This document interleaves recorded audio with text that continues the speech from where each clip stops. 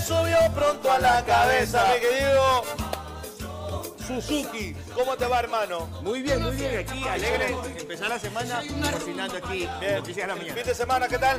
Muy bien, movido. La verdad es que ayer fue el día del padre. Harto camello. Harto pero camello. frente a la computadora, parte de edición de video. Eso tocó. es, eso es lo bueno. Bueno, y el día, hablando de bueno, vamos a tener eh, espaguetis o tallarines ah, Con calamares. Exactamente. De acuerdo. Yo ya me con adelanté un poquito. Entonces, en el sartén, un poco de aceite de oliva, he puesto peperoncino, que es uno de los ingredientes. Qué rico. El ajo. es el, el ají de ellos, ¿no? Exactamente, eh, ají seco. Ya puse los ajos para que se saborice nuestro aceite de oliva y unas ramitas de perejil. Qué rico huele, loco. Sacamos y lo que vamos a hacer... Eso con un pancito ahí, loco. Claro, se Ay. queda pero pepa. ¿Qué vas a saber tú? Subimos un poco ¡Subimos! la intensidad y aquí bien. tenemos nuestros calamares. Calamares, Que los tenemos salpimentados con... eh, y un poquito de limón. De Entonces, acuerdo. Sal, pimienta y un toquecín de limón. ¿Qué le da de limón? Esa acidez tan rica que a los frutos del mar le caen tan bien. Mira, Entonces, Fruto ya, de mare. ya tenemos caliente, echamos De y vamos a freír nuestros calamares. Ay, tienes que freírlos, ¿no? Así es. Una vez que ya estén fritos, los vamos a reservar, los vamos a sacar de aquí para que no se sobrecocinen. Porque aquí vamos a terminar la pasta. Ya tenemos el agua hervida, agua y sal. ¿Lo haces al dente o no esto de acá? A ver, Al ecuatoriano le gusta, no le gusta el dente. al ecuatoriano no le gusta eh, la pasta al dente porque dice que está cruda. Cruda, exacto. Pero ese es un secreto porque los italianos comen tanta pasta y no se ven Gordos. gordos. Porque al estar al dente, la asimilación al cuerpo va a demorar más y tiene más llenura para la persona. Entonces no necesitan comer a cada rato. Mm, en cambio acá, Acá. viene con los tallarines, no es al dente, más el arroz, ¿ah? Los Más el patacones. patacón, el pan El y un pan. vaso de colada heladita. O una gaseosa bien helada. Qué bárbaro, ¿no? Pero buenísimo. Oye, ¿también lo puedes hacer con pulpo o con calamares la receta? Bueno, en este caso lo puedes hacer con los frutos de mar que tú quieras. Puede ser pulpo, calamar, concha, Camarón. camarón, langostinos. Ya depende del, gusto de cliente o del comensal o del cocinero que vaya a O preparar. lo puedes hacer mixto, ¿no? Puedes hacer un espagueti fruto y mare. Aquí le vamos a dar la vuelta. Cuando ya estén doraditos los reservamos y lo que vamos a hacer, el siguiente paso Ajá. es poner el vino blanco. El vino blanco, qué rico. ¿no? Así es. De hecho, antes de reservarlo, le vamos a poner vino blanco para que el calamar ya quede con ese gustito al buque del vino. Es belleza, belleli, entonces. Así es. De ahí reservamos. El siguiente paso y sí es poner los tomates cherry que ya los tenemos partidos. los tomates cherry. Unos tomates cherry partidos y unos enteros que es ya para la presentación o para el emplatado. De acuerdo. También me gustan a mí fritos los tomates cherry, sí sabes, son ricos. O confitados. También Confita- quedan muy buenos. confitado. ¿Y esto acá qué es? Perejil, que eso lo vamos a picar más adelante ya para el emplatado. No es necesario ponerlo aquí, puesto que ya utilicé las ramitas para saborizar nuestro ah, eh, aceite de oliva. Oye, dime, dime una cosa, no, no necesita mucho condimento, ¿no?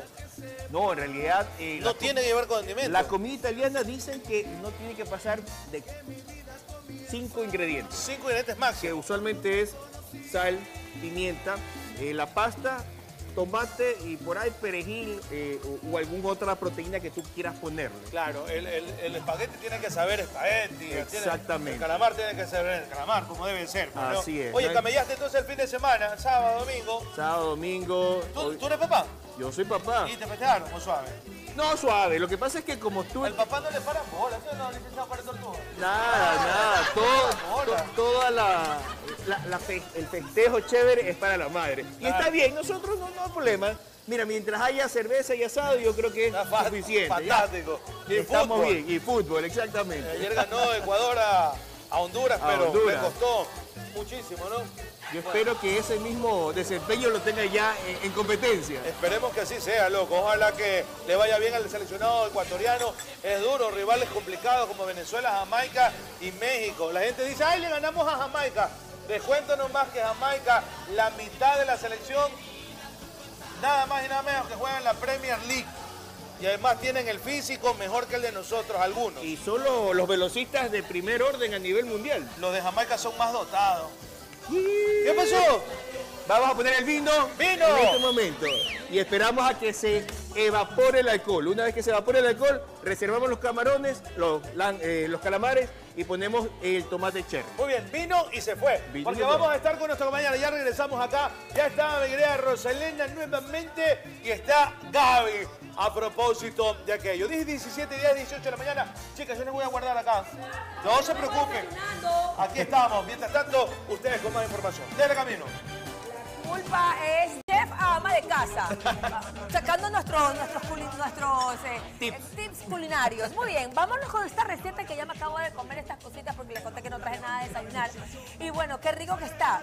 Ok, retomamos. Vamos. ¿Qué hicimos? Ya freímos o cocinamos a medio camino los calamares. Ajá. Estos no se deben cocinar del todo. ¿Por qué? Porque vamos a terminar la pasta en nuestro sartén. Y Para después que... se hace cauchoso. Exactamente. Ya, Y ahí agregamos al final los calamares. Perfecto.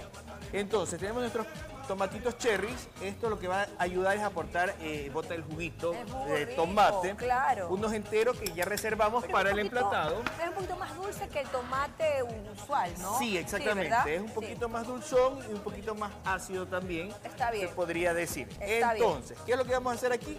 Esperar a que se ablanden los tomates y luego el, de- el tallarín debe estar al dente. Oye, ¿la pasta que pusiste es pasta china o no? ¿O No, no, no, no. Tallarín de la normal de Ya. italiano. ¿Qué es al dente? ¿Cuánto tiempo más o menos en minutos? Ábrame, más o menos. Por ejemplo, Ya. si tú vas a querer un tallarín al dente, en el paquete usualmente dice la cantidad de tiempo que debe estar, ya sea en la costa o en la sierra. Si es- 8 a 10 minutos. Exactamente, en la costa es de 6 a 8 en realidad.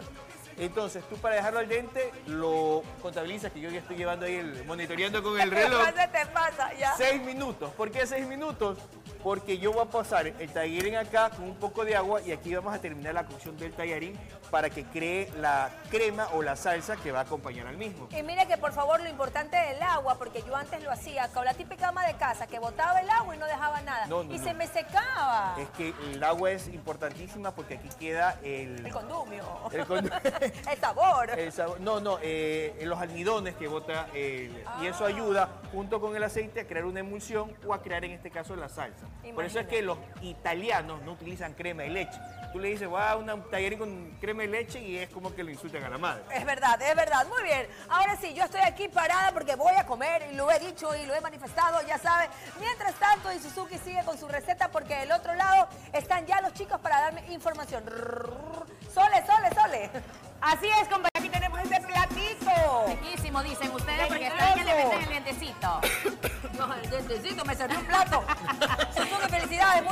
Muchas gracias, Gaby. Gracias. Oiga, y este plato está preciso para celebrar cumpleaños, señores. Tenemos, tenemos Merchan. Ingrid Merchan Rodríguez. ¿Cuántos, añitos será que cumple? ah? Linda edad. Pero linda edad, más que todo. Me, me encanta, veintitantos, 20. veintitantos. Parece de veintitantos. ¿Cuál es el otro? ¡Oh, cosita! ¡Uy, qué bella!